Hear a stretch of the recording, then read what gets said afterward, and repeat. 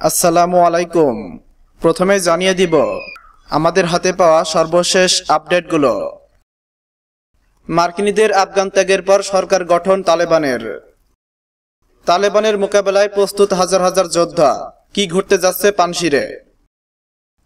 কাবুল বিমানবন্দরে গোলাগুলিতে মার্কিন সেনা আহত। আফগানিস্তান থেকে সেনা সরিয়ে নেওয়ার সিদ্ধান্ত সাহসী এবং সঠিক, কমলা হ্যারিস। নতুন করে পরমাণু চালিত সাবমেরিন বানাচ্ছে রাশিয়া, ঘোষণা পুতিনের। এবং সর্বশেষ, তালেবানকে স্বীকৃতি নাকি নিষেধাজ্ঞা, প্রতিজ্ঞাবদ্ধ হচ্ছে জি সেভেন।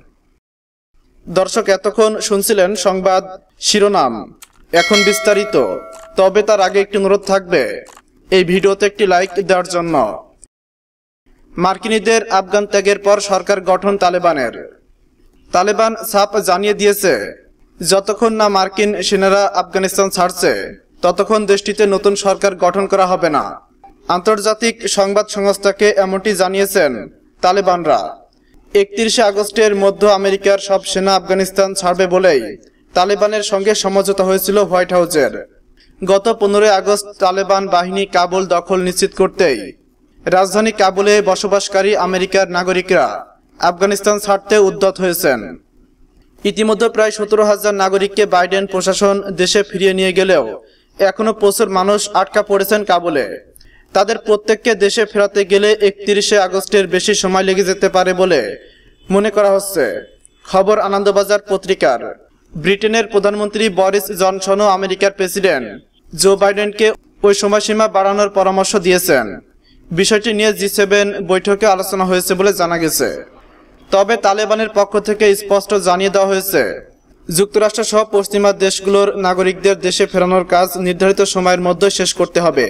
সময়সীমা বাড়ানো হবে না। অনত্যা হলে পরিমাণ খারাপ হবে বলেই ব্রিটেনের সংবাদ মাধ্যমে হুমকি দিয়েছেন এক তালেবান মুখপাত্র। তারপরে তালেবান সূত্র থেকে বলা হয়েছে, আফগানিস্তানে একজন মার্কিন সেনা থাকলেও নতুন সরকার গড়বে না তারা।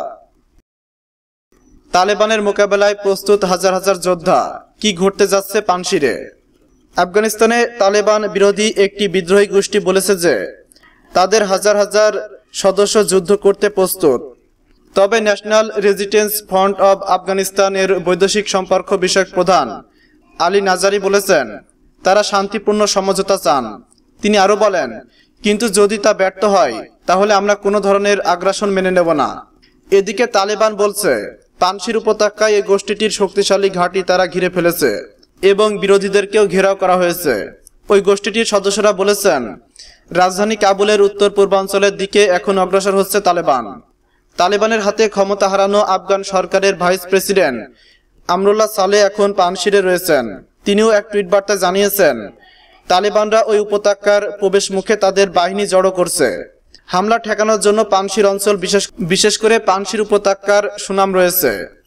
উনিশশো উনআশি সাল থেকে উনিশশো সাল পর্যন্ত সোভিয়ত আফগান যুদ্ধের সময় সোভিয়ত সেনাদের হটানো এবং উনিশশো এর দশকে তালেবানদের হটিয়ে দেওয়ার জন্য ওই অঞ্চল বিখ্যাত। কাবুল বিমানবন্দরে গোলাগুলিতে মার্কিন সেনা আহত। চরম বিশৃঙ্খলার মধ্যে সোমবার সকালে কাবুল বিমানবন্দরের উত্তর গেটে কাবুল বিমানবন্দরের উত্তর গেটে আফগান নিরাপত্তা রক্ষী ও অজ্ঞাত পরিচয় দুষ্কৃতকারীদের মধ্যে গোলাগুলির ঘটনা ঘটে। এ সময় মার্কিন ও জার্মানির সেনারা ঘটনাস্থলে গেলে তাদের উপর গুলি বর্ষণ করা হয়। এতে এক আফগান নিরাপত্তা রক্ষী নিহত ও এক মার্কিন সেনাসহ তিনজন আহত হয়েছেন, খবর রয়টার্সের। মার্কিন সেনা আহত হওয়ার খবরটি তাৎক্ষণিকভাবে জানানো হয়নি। পরে জার্মান সেনার টুইটার হ্যান্ডেল থেকে এই ঘটনাটি সামনে আনা হয়েছে। হামিদ কারজাই বিমানবন্দরে আইএস হামলা নিয়ে আশঙ্কার মধ্যে এই ঘটনায় উত্তেজনা ছড়িয়েছে। ঘটনায় এক আফগান নিরাপত্তা রক্ষী নিহত হন। আহত হয়েছেন তিনজন। তাদের মধ্যে একজন আমেরিকান সেনাও রয়েছে। জার্মান সেনা টুইটার বার্তায় আরও জানিয়েছেন, তাদের কোনো সেনা আহত হননি ওই ঘটনায়। আফগানিস্তান থেকে সেনা সরিয়ে নেওয়ার সিদ্ধান্ত সাহসী এবং সঠিক, কমলা হ্যারিস। আফগানিস্তান থেকে সেনা সরিয়ে নেওয়ায় চাপে পড়েছে যুক্তরাষ্ট্র। সেনা সরিয়ে নেওয়ার দশ দিনের মধ্যে আফগানিস্তান দখলে নিয়েছে তালেবান। ইউরোপীয় যুক্তরাষ্ট্রের মিত্র দেশগুলো জো বাইডেনের প্রশাসনের এই সিদ্ধান্তকে ভালোভাবে নেয়নি। এদিকে আফগানিস্তানকে যুক্তরাষ্ট্র ছাড়তে একত্রিশ আগস্ট সময় বেঁধে দিয়েছে তালেবান। তবে সময়সীমা বাড়াতে চায় ফ্রান্স যুক্তরাজ্য ও জার্মানি। তালেবান ইস্যুতে চাপে পড়ায় বাইডেনের জনপ্রিয়তা এখন কমতির দিকে। এরই মধ্যে এশিয়া সফর করেছেন যুক্তরাষ্ট্রের ভাইস প্রেসিডেন্ট কমলা হ্যারিস। মঙ্গলবার সিঙ্গাপুরে দেওয়া ভাষণের সময় কমলা হ্যারিস বাইডেনের সেনা সরিয়ে সিদ্ধান্তকে সঠিক ও সাহসী বলে দাবি করেছেন। এ সময় দক্ষিণ চীন সাগরে চীনের আধিপত্য বিস্তারের চেষ্টার সমালোচনা করেছেন হ্যারিস। মার্কিন ভাইস প্রেসিডেন্ট বলেন, চীনের হুমকি মোকাবেলায় যুক্তরাষ্ট্র মিত্রদের সঙ্গে থাকবে। চীনের অবৈধ দাবিগুলো দু হাজার ষোলো সালের সালিসি ট্রাইব্যুনালে সিদ্ধান্ত দ্বারা প্রত্যাখ্যান করা হয়েছে। নতুন করে পরমাণু চালিত সাবমেরিন বানাচ্ছে রাশিয়া, ঘোষণা পুতিনের। নতুন করে পরমাণু চালিত সাবমেরিন বানাচ্ছে রাশিয়া, মস্কোর বাইরে ইন্টারন্যাশনাল টেকনিক্যাল ফোরামের উদ্বোধন অনুষ্ঠানে এই ঘোষণা দিয়েছেন দেশটির প্রেসিডেন্ট ভ্লাদিমির পুতিন। তিনি জানান, রাশিয়া পরমাণু চালিত সাবমেরিন সহ নৌবাহিনীর জন্য বেশ কিছু যান বানাবে। এই প্রদর্শনীতে রাশিয়ার অস্ত্রশস্ত্র ও সেনার জন্য প্রয়োজনীয় সব সামগ্রী রাখা হয়েছে। রাশিয়া চাইছে বিদেশি ক্রেতারা এই প্রদর্শনীতে এসে অস্ত্র কেনার বরাদ দিক তাদের। জর্দানের রাজা দ্বিতীয় আবদুল্লাহ সেই প্রদর্শনী দেখেছেন। পুতিন একটি ভিডিওতে বলেছেন, শক্তিশালী ও সার্বভৌম রাশিয়ার জন্য চায় শক্তিশালী নৌবাহিনী। রাশিয়ার নৌবাহিনীকে শক্তিশালী রাখতে হবে। দেখতে হবে যাতে তারা নিজেদের বেস তৈরি করতে পারে। তাদের কাছে অত্যাধুনিক পরিকাঠামো থাকে। বিশেষ করে স্টেট অফ আর্ট অস্ত্র থাকে। পুতিন জানিয়েছেন আমাদের নৌবাহিনীর সব যুদ্ধ জাহাজে সর্বাধুনিক অস্ত্র যোগাযোগ ব্যবস্থা ও নেভিগেশনের জন্য আধুনিক যন্ত্র লাগানো হবে। সিরিয়ায় সংঘাতের সময় আমাদের প্রযুক্তি যে কতটা কার্যকর তা আমরা দেখেছি। তিনি বলেন, তিন ধরনের জলযান তৈরির নির্দেশ দেওয়া হয়েছে। তার মধ্যে আছে দুইটি পরমাণু চালিত সাবমেরিন, যেখানে ব্যালিস্টিক মিসাইল থাকবে এবং সর্বশেষ, তালেবানকে স্বীকৃতি নাকি নিষেধাজ্ঞা। প্রতিজ্ঞাবদ্ধ হচ্ছে জি সেভেন।